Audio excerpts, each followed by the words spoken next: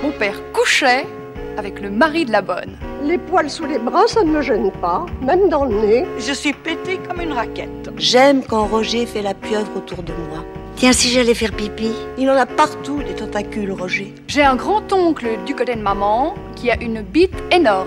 Ce que je préfère dans le sorbet, c'est la sauce. Je reprendrais bien de cette merde. Ma sœur a un prurite anovulvaire. Maman était ravie. J'ai pris une de ces branlées au bridge. La bière, ça me fait péter, mais alors péter. Roger a quitté Lucie parce qu'elle est grosse et conne. Très conne. Et très grosse. C'était pas la semaine pour le plus défoncer à la colle. Qu'est-ce qu'il faut ce con Qu'est-ce qu'il faut